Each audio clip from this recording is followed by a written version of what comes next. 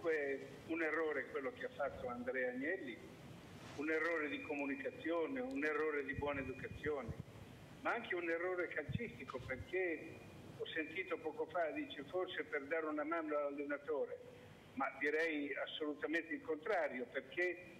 se l'ha fatto per chiarire le cose all'allenatore deve invitare Del Piero ad andarsene a fare un viaggio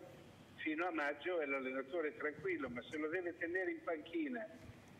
avendogli fatto capire che gli sta sulle balle, io credo che con Del Piero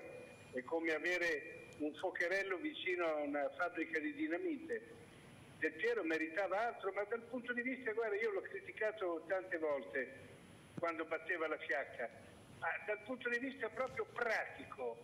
eh, un annuncio di questo genere a, a ottobre quando c'è davanti tutto un campionato mi sembra veramente una scemenza. Vi dico io cosa è successo,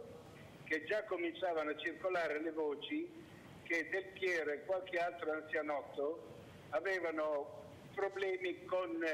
la preparazione, nel senso che Antonio Conte fa lavorare come dei fabbri sì, e sembrava che uscissero dal spogliatoio delle voci di dissenso che a Torino poi non mancano mai. Ecco, questo può avere affrettato una dichiarazione del genere, ma fatta in maniera del tutto infelice. Io posso solo ricordarvi che nei confronti di Del Piero tutti hanno rimproverato soltanto una persona, Fabio Capello, che lo mandò in panchina.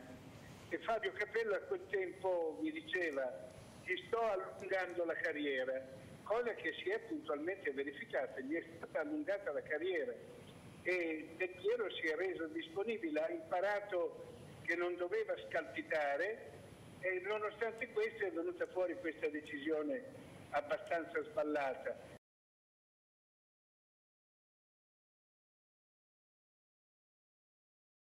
Antonio eh, era un giocatore nuovo, eh, otto mesi